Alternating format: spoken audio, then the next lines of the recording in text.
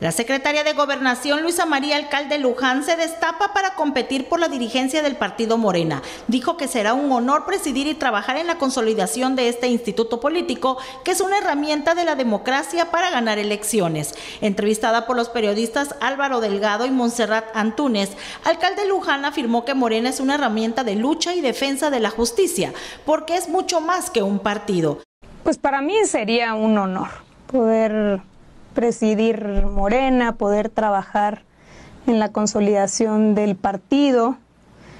Eh, olvídate, o sea, poder trabajar en que sea una herramienta que dure muchos, muchos más años, una herramienta de lucha, una herramienta de defensa, ¿no? De la justicia, de la democracia, de los derechos de todas y de todos.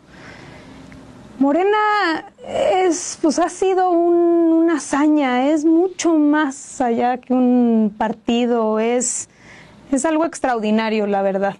Indicó que en el partido Movimiento de Regeneración Nacional caben todas las corrientes de pensamiento y de diferentes culturas y con el apoyo del presidente Andrés Manuel López Obrador ha tenido un crecimiento enorme.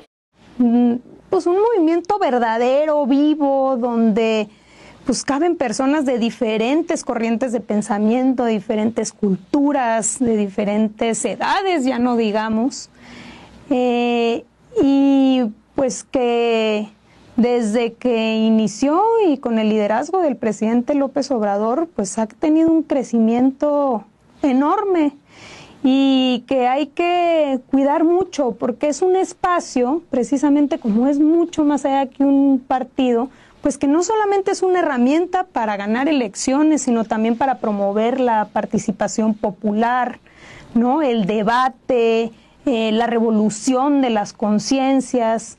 Entonces se tiene que cuidar mucho. La secretaria de Gobernación, Luisa María Alcalde Luján, en caso de ser electa, sustituirá en la dirigencia a Mario Delgado Carrillo, quien fue designado por la presidenta electa Claudia Sheinbaum como secretario de Educación. La dirigencia de Morena será ocupada por el nuevo titular el jueves 31 de octubre de 2024. Con información de Marcelino Ramos, Noticias TVT.